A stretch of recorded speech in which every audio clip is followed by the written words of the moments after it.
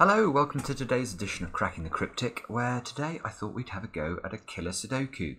We've done a lot of sort of killer Sudoku variants over the last few weeks, but a straight killer Sudoku, no, I don't think we've done one. So I'm going to take a look at this puzzle, uh, which is by the Danish constructor Henning Poulsen. Now, Henning, I think I'm right in saying, was the Danish Sudoku champion a few years ago and is obviously producing puzzles now. And this was a puzzle that his uh, uh, web entry says was possible or possibly going to be included in the Danish Grand Prix uh, if they needed a very difficult puzzle. So, um, so that gives you an idea of what we might be expecting when we try and solve this in a minute. Um, just a quick uh, mention though um, of what we're going to try and do for you over the Christmas period. Uh, we do hope to have a video up on the channel every day over Christmas.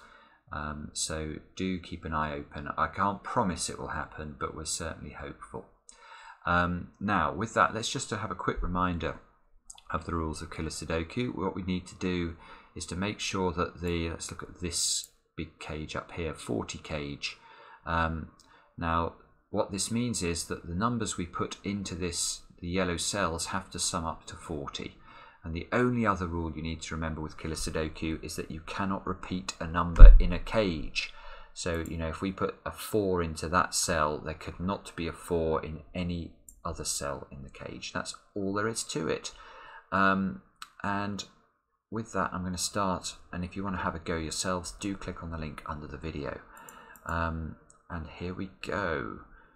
So I guess actually highlighting that 40 cage, you can see this is 8 cells large, this 40 cage. Now what that means is that there cannot be a 5 in this cage. Now why is that? Well that's because if we add up all of the numbers from 1 to 9, we get 45. Now as we can't repeat a digit in a cage, any cage of size 8, 8 cells, um, it must be all different digits uh, and therefore we know that the missing digit here must be the difference between 45 and 40 and that's 5 so there's no 5 in this cage. And there's no 7 I guess in this cage because this is also an 8 cell cage. Any more? Yes that one. That's a 9 that's there's no 9 in this 8 cell cage Okay, so there are some restrictions from the geometry on the grid R, but we can write in the value of this cell immediately. If you don't see how to do that, by the way, do pause the video and have a stare and think about it. It's good practice, but the way we can write this this number in is that we can use this 45 rule again. We know these 9 cells will add up to 45 uh, because they'll be the numbers from 1 to 9, and we've got 17 plus 10, that's 27, plus 5 is 32, plus 6 is 38. So I know this cell must be a 7 in order to make this box add up to 45. Now a 17 cage in two digits, that must be 8 and 9. And that means the 10 cage must be 4 and 6, because it can't be 3, 7, it can't be 1, 9, and it can't be 2, 8. And as there's a 4 in one of these two cells, this 6 cage can't be 2 and 4, so it must be 1 and 5, and therefore the 5 cage is 2 or 3, and we're off and running.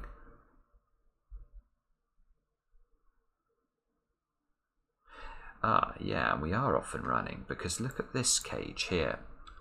So we've got a 7 in this cage, which means these three cells must add up to 20, because it's part of a 27 cage. Now, the interesting thing here is that this 24 cage, that must be 7, 8 and 9. Which means we know these add up to 20 and we know the maximum number I can make 5 cells in a killer Sudoku add up to if they're in the same 3x3 box or row or column is 35 and that's because if I add up 9 plus 8 plus 7 plus 6 plus 5 I get 35. Well if these are 20 that means I need to make sure these cells do not add up to, to more than 15. And you can see there's only, therefore, there's no way I can put a 9 into either of these cells, otherwise they will add up to more than 15. So this is a 9, This is a 7 and an 8. So this must be 5, 6 and 9. So these all now add up to 35. Now we've got, yes, look, we've got 9 in one of those squares. So this is an 8. And we've got a 6 in one of these squares. So that must be that way round. and we still need to put a 2 and a 3 into those squares and we've got a 2 and a 3 there so that's 2 and 3 that's 1 and 4 the 1 and the 4 results that this is a 5 and this is a 1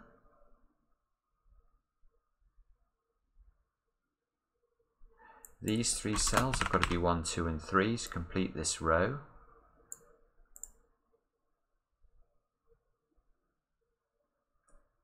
uh, Oh, actually, look, that's a, that is a very restricted cage. Those of you who do Kakuro will know that this uh, six cell cage adding up to 22, well, that can only be made up in one way. This cage must be 1, 2, 3, 4, 5, which add to 15, and a 7, which adds up to 22. So this is quite restricted. In fact, that square is very restricted because this square already sees a 1, a 2, a 3, a 4 and a 5. So that one can only be a 7. This one can't be a 1, 2 or a 3 because they're already in the row. That one can't be a 4 or a 5 because of the 5s here. Oh yeah, I'd already got that in fact. Just repeating logic I've already done. Never a good idea. Ah, the 7 here means this is a 7, this is an 8. Therefore these two squares are 6 and 9 to complete the row. Right, and those two must be 4, 5 and... This one can't be an 8, so we've got 4, 5, 8 triple along here, and the 8 is in one of those two squares.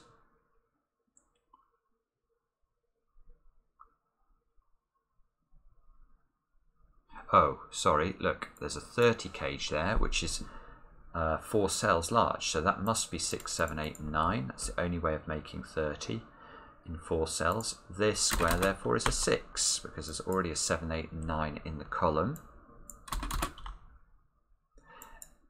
8 and a 9 in this column, so this one is a 7.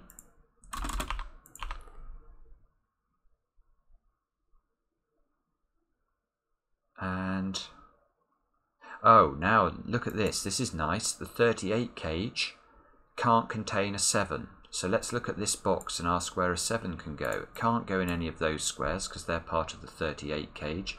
Can't go here because of this 7. Can't go here because of this 7. So that's a 7. One of those two must be a 7 therefore because of this 7 up here.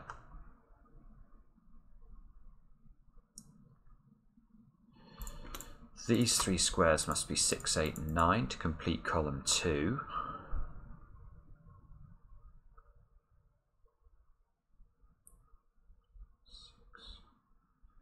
And sorry about this, let me just stare at this for a minute.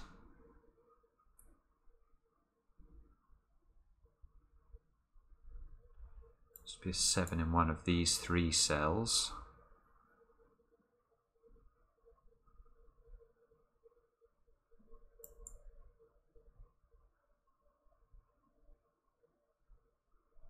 And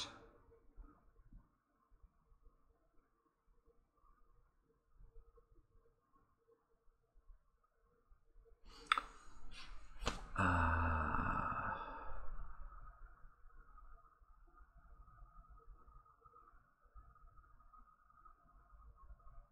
oh that's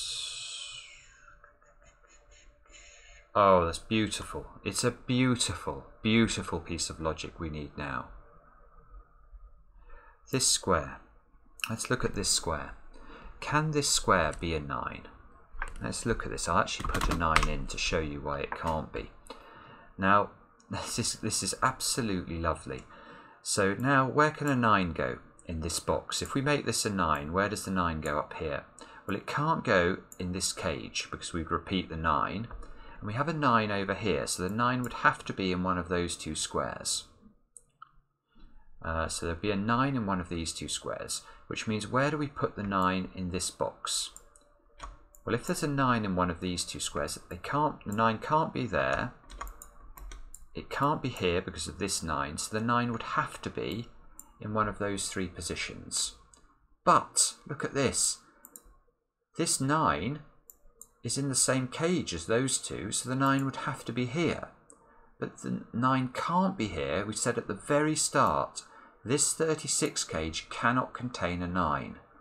So in fact, this square can never be a 9 because there would be nowhere to place a 9 in that box. Isn't that beautiful? So this has to be a 6. That has to be a 9. Now that can't be a 6.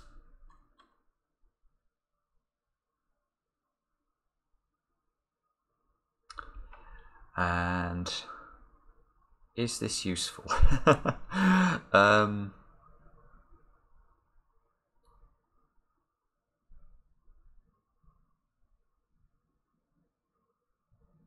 well, actually now they can't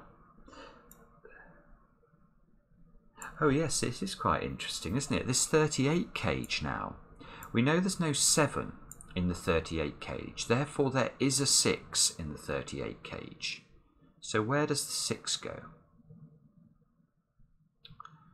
Well, you can see it can't go down here because of this 6.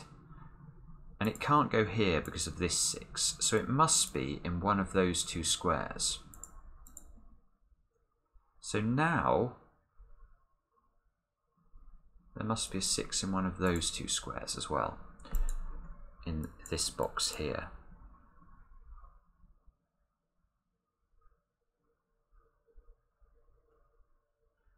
Uh, wow, okay. So I feel like we're going to have to, we are going to have to use these restricted cages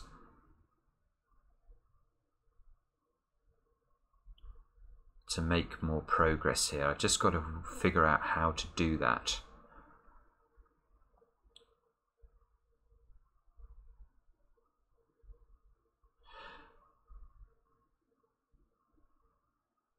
Oh, yeah, yeah, yeah, yeah, yeah.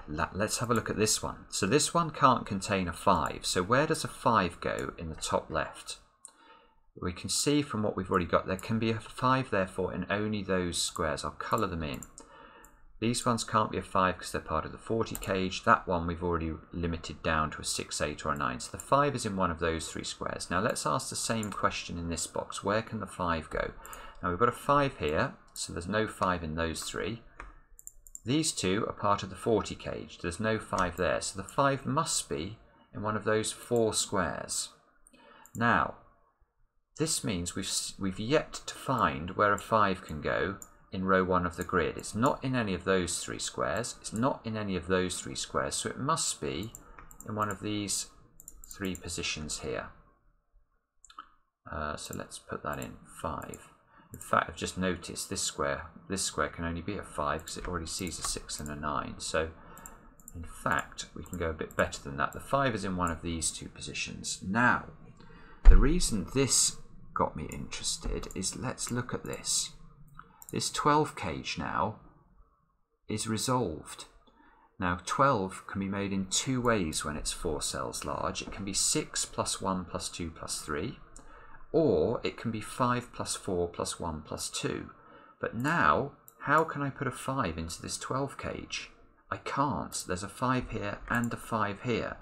So this 12 cage is 6 plus 1 plus 2 plus 3. That square, therefore, cannot be a 4. And, oh, come on, I must get more than two digits for that. Ah! These have to be 2, 3 and 6. Oh, well that's that's quite interesting. Look, because this can only be a 2 or 3, there must be a 6 in one of those two squares. Therefore, these two squares, which are a 6, 9 pair, that's got to be a 6, this is a 9. Can't be a 9 in a 7 cage. There's a 9 in one of those two positions. But the actual thing I was looking at with this 6 is, is if we look down here, because of this 6 in this square, we know the 6 is in one of those three positions in this box, marrying up with the positions of the 6s in this box. So again, we've yet to manage to put a 6 into row 1, and the 6 is going to have to be in one of those three cells. But these two can't be 6 because of the 6 here, so I think that must be a 6 which means that's a 6.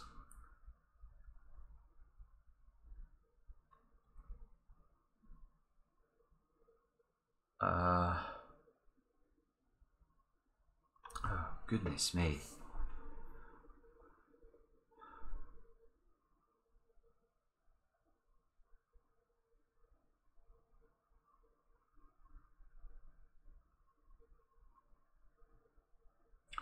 Well, Let's just have a... Oh, yes, yeah, yeah, yeah, yeah. This is nice now. Look, we've got a 25 cage here in row 8. Now that in and of itself is not useful to me. I don't know the combinations for making 25 in 6 cells. But I do know that that means these three squares have got to add up to 20 because we know the total for the row will be 45. Now, that is interesting because now this square cannot be a 1 or a 2 and it can't be a 4. And it can't be a 4 because if I put a 4 in here, these two squares would have to add up to 16. And therefore they'd have to be 7 and 9, and they can't be because there's already a 7. So this square is a 3 or a 5. If it's a 3, this would have to be an 8-9 pair. And if it's a 5, these two squares would have to add up to 15, which they can't do because we've already used the 6-9 option and the 7-8 option. So this has to be a 3. Uh, which means I can get rid of 3's from those squares. This is an 8-9 pair. Oh, better though. Look, the 3 here means where do we put a 3 in this box? It must be in one of those three squares. And that means there must be a 3 in one of those three squares by basic Sudoku. So the 3 the, the 3 is in the 7 cage. This must be a 3 and a 4. Therefore it must be this way round because of this 4 up there, which gives us another another little breakthrough. So this is a 2-6 pair now. 3-4 here. Oh, this is, yeah, this is nice. So now these squares must be 1, 2 and 5 in some order.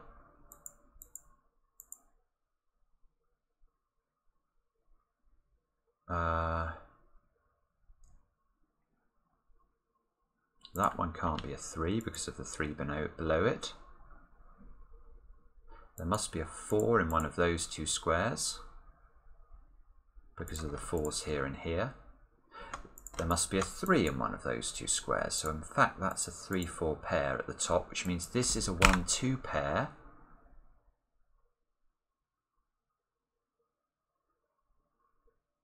Ah, now that's also interesting because, look, we've got an 8-9 pair in row 8. So this square cannot be an 8 and we've got nines pencil marked into those two, sevens into those two. Well, one of these squares must be an eight as well. I don't know which one, but it's not that one. So there is a seven, eight, nine triple here. Uh, that can't be a nine because of the nine here. Seven, eight, nine. This must be a five, therefore. That results that that's a five at the top. One of these squares must be a 1. This 4 sees that 4. It's in the same box. So this is a 3. This is a 4.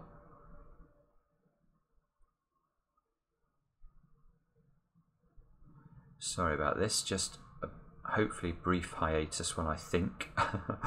um,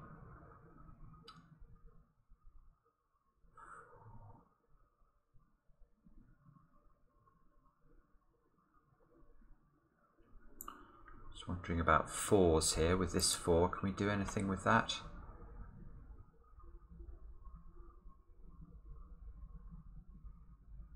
Oh, actually, this 22 cage is restricted now as well. Because, yes, it is restricted. So these three squares have got to add up to 13. Now, if this is a 4, I can never make these two big enough, so it's not. If it's a 5, these would have to add up to 8. Now that's only possible if I make this a 5, which would repeat the 5. So this is not a 5, this is an 8.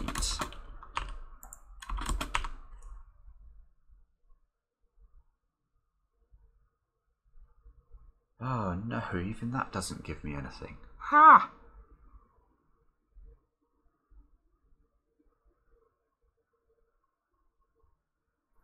Uh...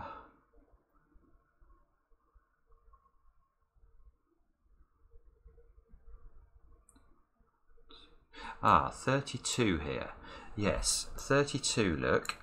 That means we've already got 24 from this 7, 8, 9 triple. So these squares have got to add up to 8. Now, is there anything we can rule out there? And we know there's a 3 in one of these squares. So if this was, this would have to be, if there was a 3 in here, this would have to be a 1, and one of these squares would be a 4. Which is not possible, is it? Because look, if we put a 4 in one of these squares, that 4 there would mean this square has to be a 4, which it can't be. In fact, looking at this row, I should have got this before, row 8 needs a 4 in it. There's only one valid position for a 4, it's there. So this these three squares adding up to 8 must be 1, 2 and 5. 1 and 5 in the column means that's a 2. Wow. Now there must be a 5 in one of those two squares. Uh, surely this is going to be a useful thing to have spotted. I still need a 3. This must be a 3 now from the earlier logic that we were talking about. That means this is a 1.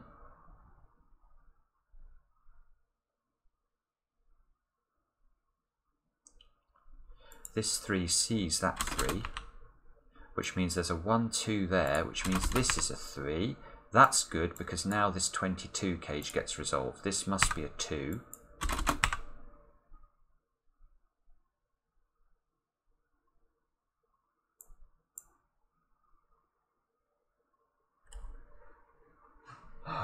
goodness me, this is an unbelievably good puzzle. But it is really hard. Um, we still need 3, 8 and 9 to complete this. So this must be a 3 or an 8. This must be a 3, 8 or a 9.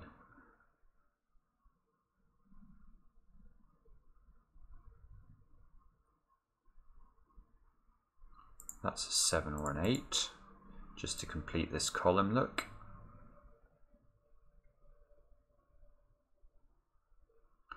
And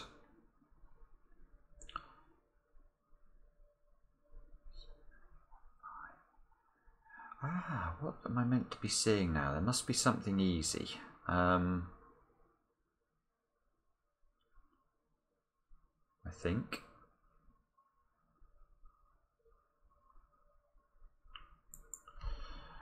So these two squares must be 1, 7 or 8.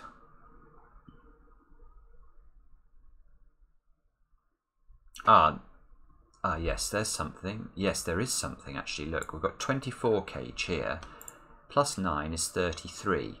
So I know the remaining four cells in row 3 of the grid have got to add up to 12. Well, that being the case, there's no way this can be a 7 or an 8 because the minimum I can make three cells add up to would be six if I make them one, two, and three. and 6 plus 7 or 6 plus 8 is definitely bigger than 12. So this square is a 1. Therefore this is not a 1. Oh, and now we can do, actually we can do more logic here. Given what I've just said about these squares needing to add up to 12, the 7 and the 8 in this row must now be in the 24 cage. And look, 7, 7, 7. So that square has to be a 7. Oh, that's lovely. That means that's a 5. Um, and I also need to put an 8 actually in this cage. And that, that can only go here.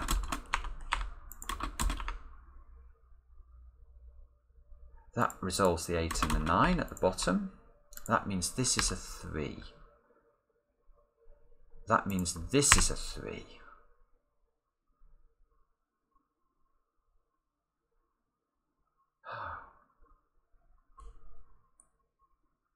Yes, that's nice as well. So now I've got 15 in my 24 cage, so these two squares have got to add up to 9.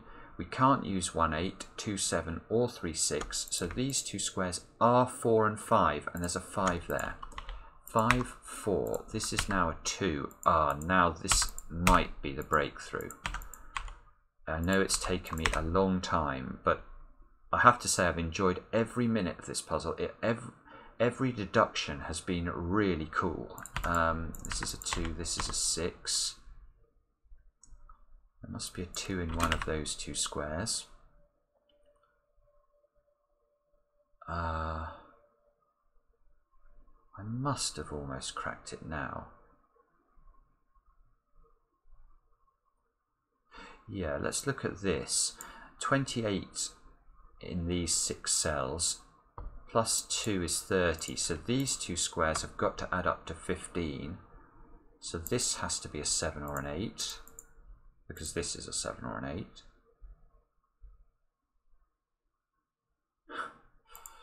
Um, maybe it's just Sudoku I need to be thinking about now. 6 is here means there's a 6 in one of these two squares.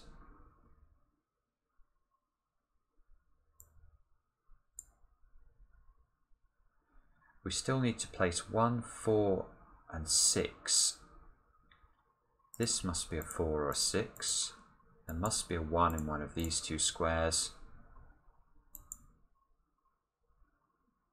Yes, that's it. Oh, no, it's not it. I was about to say this 6 is helpful, but it's not. It's not helpful enough. So this is a 1 or a 4.